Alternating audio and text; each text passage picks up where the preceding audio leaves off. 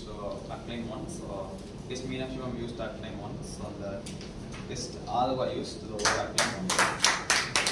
So some creative or good uses were uh, Toastmaster Hemantha ma'am used words like oxymoron, morning marathon, universal law, escape plan, out of the pain, tornado, me time, good old, deep down, embrace the chaos.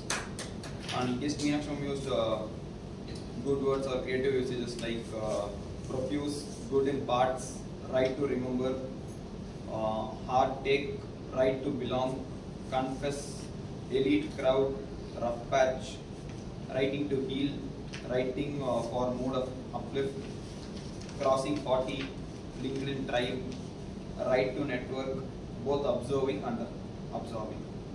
Uh, DTM Sundaraman sir used uh, creative usages or good usage like jargons, acronym, where leaders are made.